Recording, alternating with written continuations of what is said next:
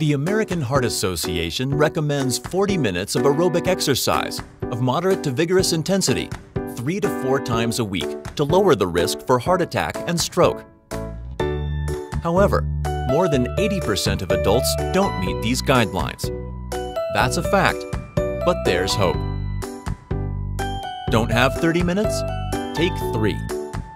In a recent Japanese study, moderate intensity physical activity between 32 seconds and 3 minutes was associated with improvements in components of metabolic syndrome, waist circumference, blood pressure, blood sugar, and blood fat levels.